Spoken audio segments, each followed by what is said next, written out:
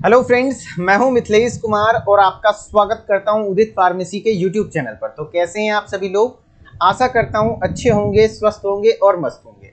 आज के इस वीडियो लेक्चर में हम लोग बात करने वाले हैं डी फार्मा सेकेंड ईयर का एक सब्जेक्ट है फार्माकोलॉजी जिसका चैप्टर नंबर वन है जनरल फार्माकोलॉजी जिसमें कि आपको रूट ऑफ़ ड्रग एडमिनिस्ट्रेशन पढ़ना है। तो आज हम लोग इस टॉपिक को शुरुआत करते हैं। एक ही क्लास में तो ये सारी चीज़ें आप कवर नहीं कर पाएँगे। इसकी लगभग तीन क्लासेस आएँगी। तो ये हमारा पार्ट वन है, जिसमें कि हम लोग बेसिकली समझेंगे कि आखिर कितने प्रकार का रूट होता है ड्रग एडमिनिस्ट्रेशन के लिए। अगर आपको नहीं समझ में आ रहा होगा तो बेसिक पहले टॉपिक को ही समझते हैं कि रूट क्या होता है ड्रग एडमिनिस्ट्रेशन क्या होता है। तो ड्रग एडमिनिस्ट्रेशन का मतलब है कि ड्रग्स मतलब तो आप जान रहे हैं, यानी कि मेडिसिन दवा। दवा को आप बॉडी में किस प्रकार से ले रहे हैं? उस विधि को ड्रग एडमिनिस्ट्रेशन कहते हैं। जैसे कि आप दवा को मुँह के द्वारा खा लें टैबलेट जैसे कि कैप्सूल जैसे कि आप खा लेते हैं, या तो कुछ दवा ऐसी हैं जो कि इंजेक्शन के द्वारा आप वेन में लगाते हैं, या फिर कुछ दवा ऐसी हैं जैसे क्रीम ऑइंटमेंट लोशन वगैरह होती हैं जो स्किन के ऊपर लगाते हैं। कुछ ऐसी चीज़ें होती हैं जो इनहेल कर लेते हैं या फिर कुछ ऐसी चीज़ें होती हैं जिसको कि रेक्टल रूट से दिया जाता है एनस के द्वारा दिया जाता है। तो ड्रग एडमिनिस्ट्रेशन का मतलब है कि आप बॉडी में ड्रग को, यानी मेडिसिन को किस प्रकार से ले रहे हैं, उस प्रोसेस को ड्रग एडमिनिस्ट्रेशन कहते हैं। और रूट मतलब अलग अलग पाथ अलग अलग रास्ते। किस रास्ते के द्वारा आप बॉडी में ड्रग को एंटर करा रहे हैं तो इसके बारे में आपको इस टॉपिक में पढ़ना है और काफ़ी इंपॉर्टेंट रहने वाला है। सेकेंड ईयर के लिए भी और आप भविष्य में एग्जिट एग्ज़ाम देंगे तो उनके लिए भी बहुत ज़्यादा हेल्पफुल रहेगा। इसी चीज़ को ध्यान में रखते हुए मैं इस टॉपिक से रिलेटेड जो एम पूछे जाते हैं अलग अलग फार्मा कॉम्पिटिटिव एग्ज़ाम में, वो भी मैं देने वाला हूँ। और आप यदि सही से ध्यान से इस लेक्चर को देखेंगे तो वो क्वेश्चन आप खुद कर। ले जाएँगे, ठीक है? तो चलिए शुरू करते हैं आज के इस टॉपिक को। स्टार्ट करने से पहले मैं आपको बता दूँ कि सबसे पहले तो मैं बोलूँगा व्हाट्सएप चैनल को ज़रूर ज्वाइन कर लें। डिस्क्रिप्शन में लिंक है जहाँ हर एक वीडियो का नोटिफिकेशन मैं टाइमली डालता हूँ। प्लस जितने भी न्यूज़ नोटिफिकेशन रिज़ल्ट अपडेट जो भी होना होगा, सबसे पहले व्हाट्सअप चैनल पे जाएगा। क्योंकि यहाँ पर टेक्स्ट के फॉर्मेट में नोटिफिकेशन बहुत अच्छे तरीके से जाता है। क्योंकि नोटिफिकेशन के मामले में सबसे अच्छा व्हाट्सअप है। तो व्हाट्सअप चैनल का लिंक डिस्क्रिप्शन में है। ज़रूर से ज़रूर ज्वाइन कर लीजिए। और बाकी जो लोग हमारे साथ इसी तरीके से इंटरेस्टिंग वे में पूरा सेकेंड ईयर पढ़ना चाहते हैं और साथ साथ एग्जिट एग्ज़ाम की तैयारी करना चाहते हैं तो डी फार्मा सेकेंड ईयर का न्यू बैच 2025 जिसमें कि लाइव क्लासेज शुरू से स्टार्ट कर दी गई हैं तो ज़रूर से ज़रूर कोर्स को ज्वाइन करें। और अभी फ़िलहाल आपके लिए कूपन कोड है फार्मा वन टू थ्री तो जिसकी प्राइस चौदह सौ निन्यानवे है, एक अक्टूबर से पहले यदि ज्वाइन करते हैं तो ये प्राइस मात्र ग्यारह सौ निन्यानवे लगने वाला है। तो फटाफट से प्ले स्टोर पर जाइए, उदित फार्मेसी ऐप को डाउनलोड कीजिए और सेकेंड ईयर के कोर्स को ज्वाइन करके डेली लाइव रात के 9 से 10 मेरे साथ पढ़ना शुरू कीजिए, जहाँ मैं अभी फार्माकोलॉजी पढ़ा रहा हूँ। बहुत इंटरेस्टिंग वे में, ठीक है? तो चलिए हम अपने टॉपिक पर आते हैं। आज का हमारा टॉपिक है रूट ऑफ़ ड्रग एडमिनिस्ट्रेशन तो मैंने आपको बता दिया ड्रग एडमिनिस्ट्रेशन वो प्रोसेस है जिसके द्वारा हम अपने बॉडी में ड्रग को, यानी कि मेडिसिन को एंटर करवाते हैं, उसे ड्रग एडमिनिस्ट्रेशन कहते हैं. रूट यानी कि रास्ता पाथवे अलग अलग पाथवे हो सकता है। तो वही चीज़ें लिख, वही चीज़ें लिख रहा है कि this is the path by which the drug is introduced into the body यानी कि ये एक रास्ता है जिसके द्वारा आपके बॉडी में किस प्रकार से ड्रग को एंटर कर रहे हैं, वो उसी चीज़ को हम लोग रूट ऑफ़ ड्रग एडमिनिस्ट्रेशन कहते हैं। अब बेसिकली अलग अलग रूट होता है enteral route parenteral route topical route अब इन चीज़ों को समझने के लिए आपको एक और क्लासिफिकेशन मैं पहले बताता हूँ। इससे बहुत ज़्यादा एमसीक्यूज बनते हैं। तो पहले ये वाला क्लासिफिकेशन समझिए, ठीक है? कि अगर रूट ऑफ़ ड्रग एडमिनिस्ट्रेशन का क्लासिफिकेशन है तो मेनली दो प्रकार का रखा गया है। एक रखा गया है सिस्टेमिक और एक रखा गया है लोकल अब सिस्टेमिक क्या होता है? लोकल क्या होता है? इन चीज़ों को समझिए। तो सिस्टेमिक में वो रूट ऑफ़ ड्रग एडमिनिस्ट्रेशन आते हैं, जिसके द्वारा आप दवा जो खाएँगे, वो कहीं ना कहीं आपकी बॉडी के सिस्टेमिक सर्कुलेशन में जाएगा। यानी कि सिस्टेमिक सर्कुलेशन कहने का मतलब सिंपली है कि वो कहीं ना कहीं ब्लड में जाएगा। ब्लड में जाएगा, फिर वो काम करेगा। पहले आप खाएँगे या फिर किसी रूट से लेंगे तो अगर वो ब्लड में जाएगा तो वो सिस्टेमिक क्लासिफिकेशन में आ जाएगा। अगर वो ब्लड में ना जा करके डायरेक्टली ऐसे ही काम कर गया तो वो लोकल नहीं समझ में आया? मैं समझाता हूँ। जैसे आप यही जान लो कि अगर आप कोई क्रीम लगाते हो, या ओइंटमेंट लगाते हो, आपको कहीं जल गया, या फिर फंगल इन्फेक्शन वगैरह हो गया तो उस कंडीशन में जो आप क्रीम लगाते हैं या लोशन लगाते हैं, जेल लगाते हैं तो वो क्या खून में जाता है, ब्लड में जाता है? नहीं। लोकल एरिया, जहाँ पर लगाए, वहाँ पर इफ़ेक्ट दिखाता है। ब्लड में जाए बगैर वो असर दिखाता है। तो उसको लोकल रूट कह देंगे, ठीक है? जैसे कि आपके टॉपिकल वगैरह हो गए। टॉपिकल कहने का मतलब हो गया कि सरफेस पर जो यूज़ किए जाते हैं, क्रीम, ऑइंटमेंट, लोशन, ये सब चीज़ें, ठीक है? लेकिन अगर सिस्टेमिक की बात करें तो ये आपका दवा खाएँगे तो कहीं ना कहीं ब्लड में जाएगा फिर जाकर के ब्लड के माध्यम से टारगेट ऑर्गन तक पहुंचेगा। टारगेट ऑर्गन यानी कि अगर मान ली किसी को सर दर्द है पेन किलर है या फिर कोई भी सर दर्द है तो सर दर्द में आप अगर जो कोई भी टैबलेट खाया है तो वो ब्लड में जाएगा। ब्लड में जाने के बाद अगर सर में दर्द है तो सर पर, सर में जाएगा, फिर वहाँ काम करेगा। तो कहीं ना कहीं वो ब्लड में पहले पहुंचेगा, ठीक है? तो सिस्टेमिक में आपका दो प्रकार का रूट होता है। एक होता है एंटेरल और एक होता है पेरेंट्रल पेरेंट्रल में डायरेक्टली आपका आ जाता है क्या? जैसे कि इंजेक्शन जितने भी आपके इंजेक्शन होते हैं इंजेक्शन यानी कि डायरेक्टली आप इस वेन में इंजेक्शन दे दें। इंजेक्शन बहुत प्रकार का होता है।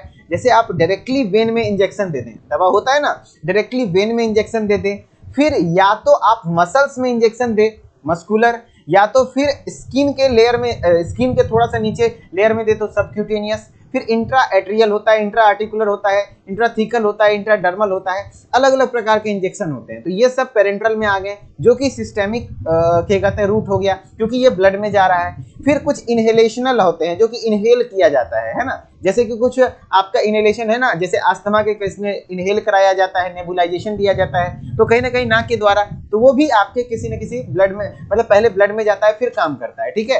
फिर ट्रांसडर्मल पैचेज वगैरह जो कि स्किन के ऊपर चिपका दिया जाता है धीरे धीरे चीज़ें वहाँ से मेडिकेशन निकलती रहती है और ब्लड में पहुँचती है, ठीक है?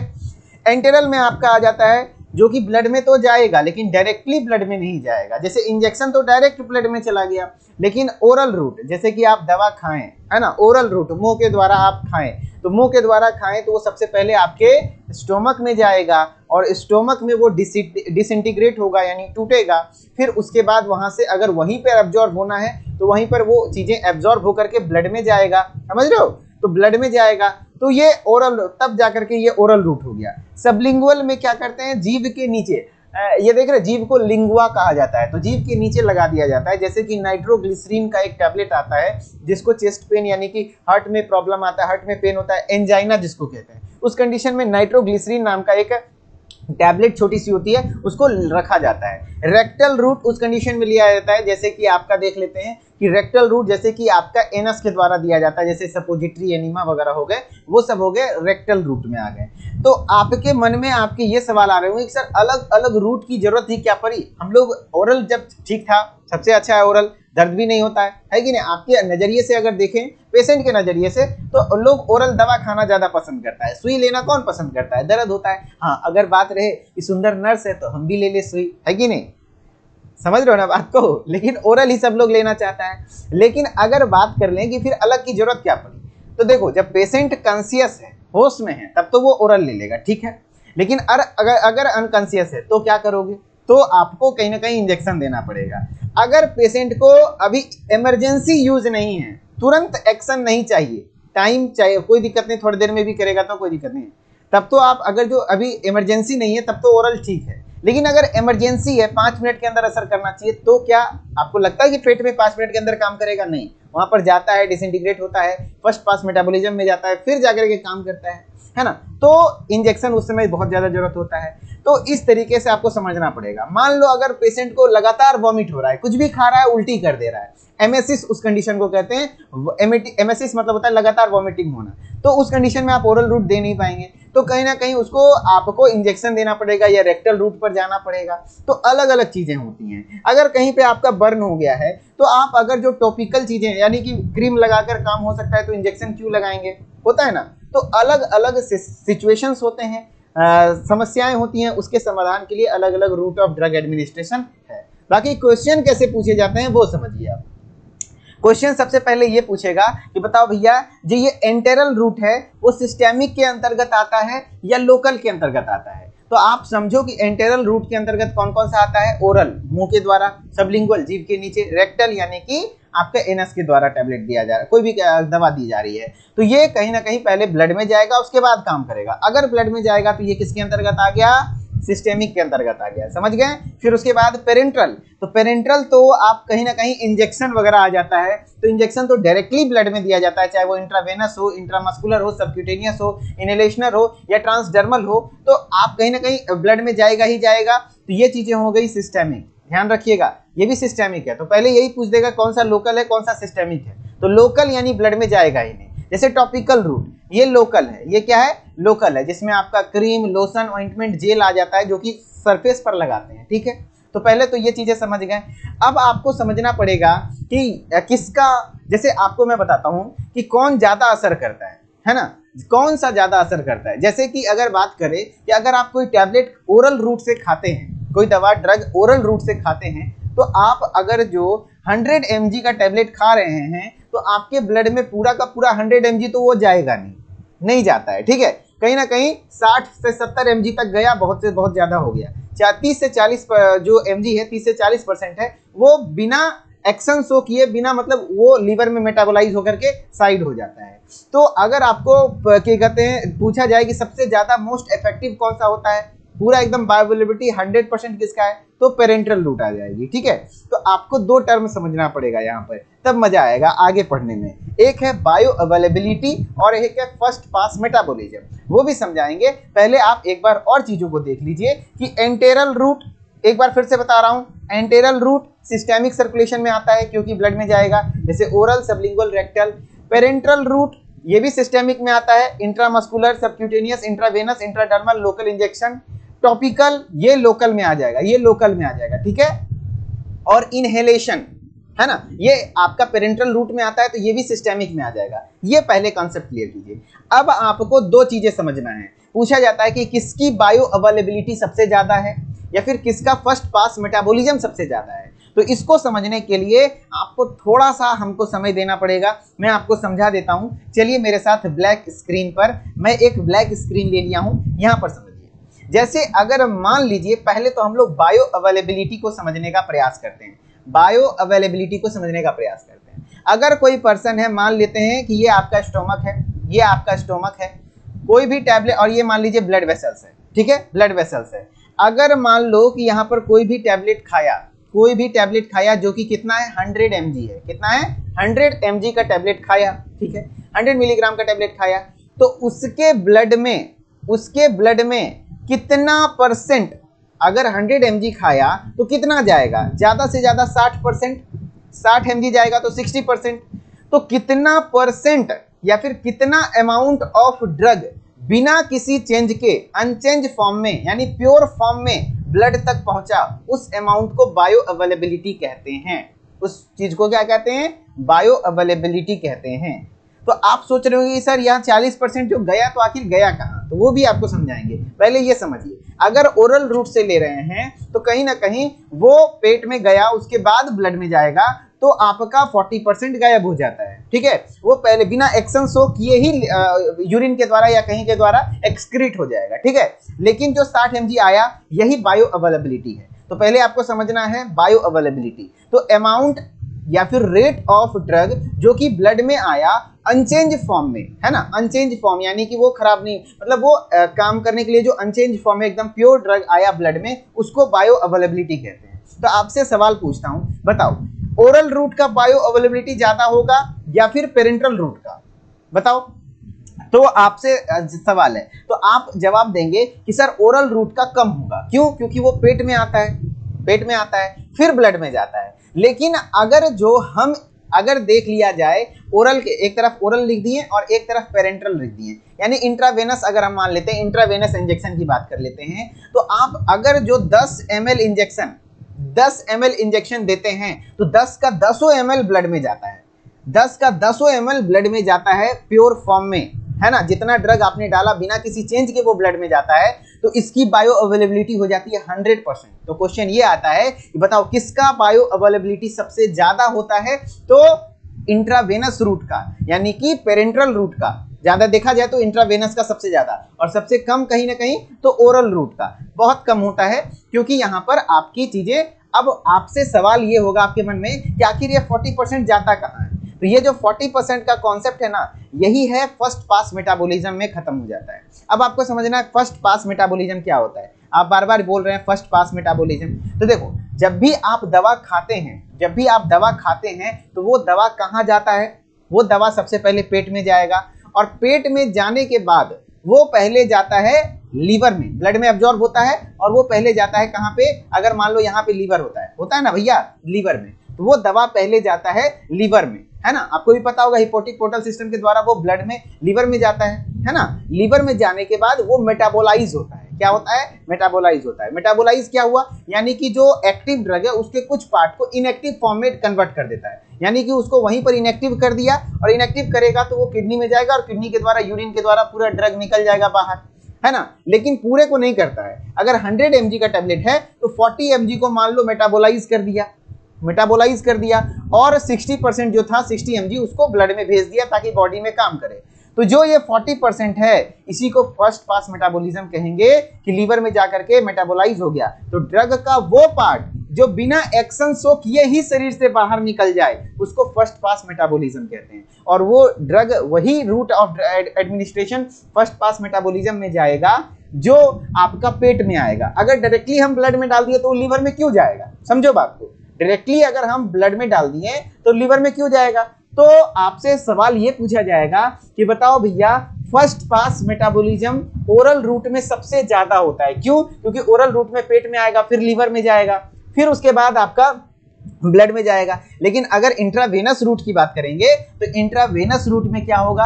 ब्लड डायरेक्ट जो ड्रग है डायरेक्टली ब्लड में आ गया तो वो अवॉइड करता है फ़र्स्ट पास मेटाबॉलिज्म को। फ़र्स्ट पास मेटाबॉलिज्म में जाएगा ही नहीं। बाकी फ़र्स्ट पास मेटाबॉलिज्म और बायो अवेलेबिलिटी को अभी और मैं समझाने वाला हूँ। ध्यान से सुनिएगा अब डेफिनेशन के माध्यम से, ठीक है?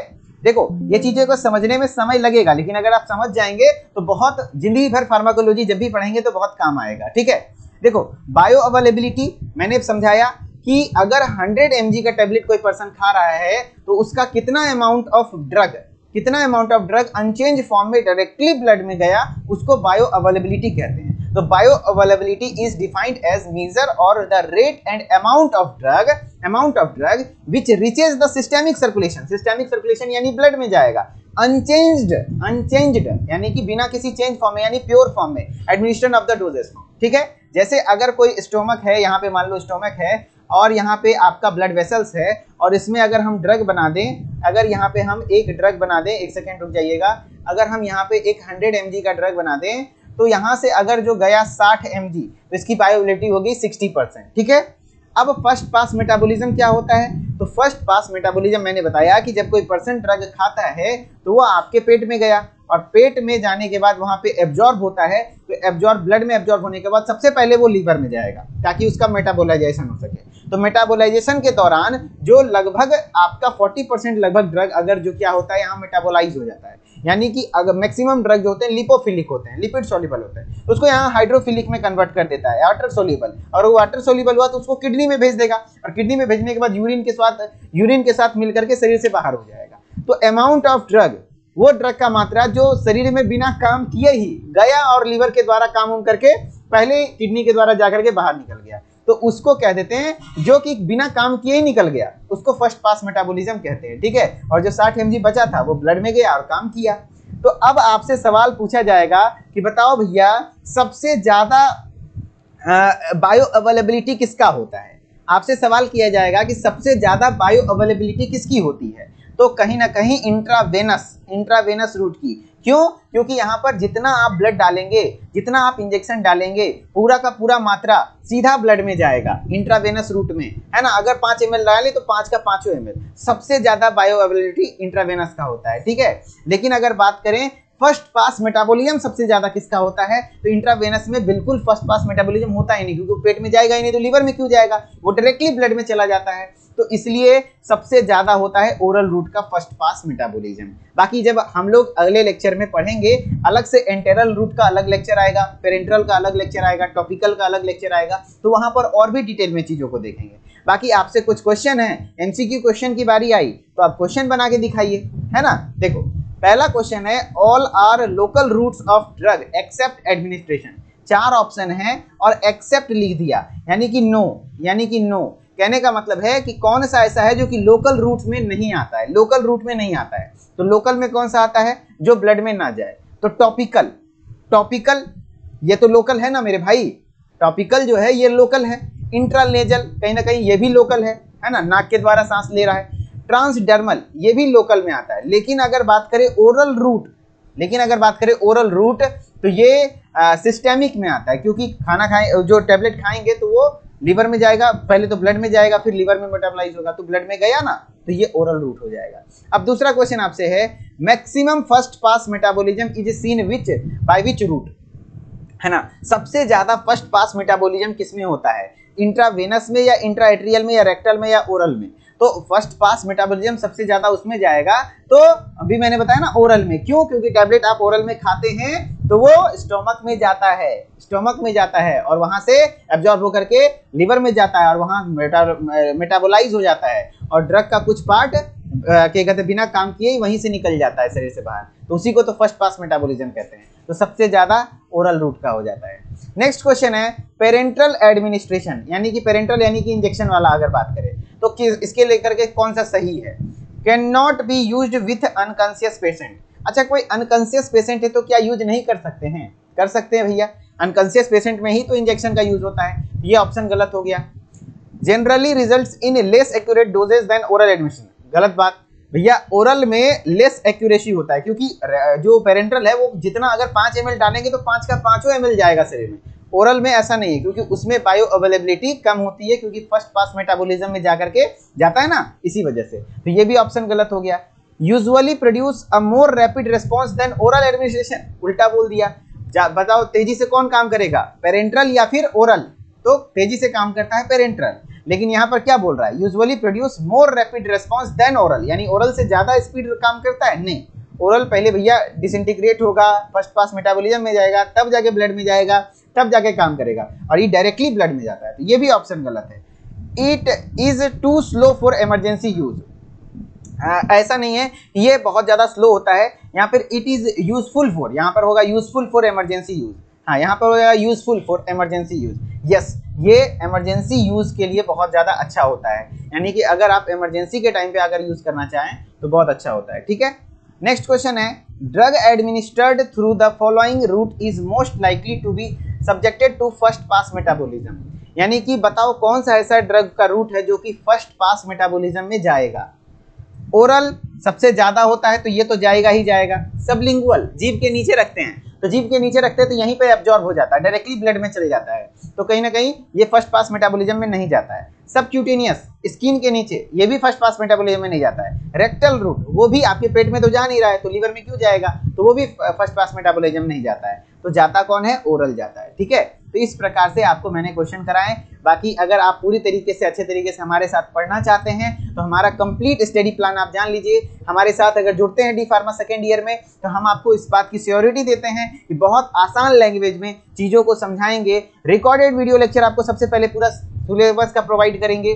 डेली लाइव क्लासेस रात के नौ से दस चलती हैं plus e book P notes आपको प्रोवाइड किया जाता है। चैप्टर वाइज कंप्लीट होने के बाद एक्सरसाइज और आपको पता है कि मैं जब भी पढ़ाता हूँ तो उसके साथ एमसीक्यू भी कराता हूँ, और आपका टेस्ट भी लूँगा ताकि आप एग्जिट एग्ज़ाम के लिए अभी से प्रिपेयर हो सकें, एकदम कंप्यूटर बेस्ड टेस्ट एकदम ना? और व्हाट्सअप चैनल को भी ज्वाइन कर लीजिए और पीडीएफ वगैरह ऐप पर मिलता है इन सारी चीज़ों का। तो ये हमारा कोर्स है, सारी चीज़ें आपको मिल जाएँगी। अभी कूपन कोड है, फटाफट अप्लाई कर दीजिए। और अगर आप बुक चाहते हैं तो हमारे साथ आप इस ऐप पर बुक वो भी ऑर्डर कर सकते हैं। और ऑर्डर करने के लिए आपको क्या करना पड़ेगा?